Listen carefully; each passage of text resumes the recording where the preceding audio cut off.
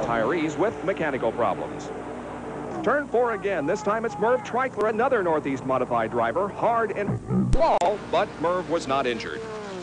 Bobby Allison had the year's first pace car encounter as he retired on lap 79. Earnhardt's demise was signaled when he dropped low on the track and watched the others pass in the high groove. Then with less than seven laps to go, a multi-car crash between turns one and two takes out Bill Elliott, but it obviously had no effect on his performance the next day. The green comes out with one lap to go. Geoff Bodine gets the jump. Then in turn number four, Darrell Waltrip looks strong.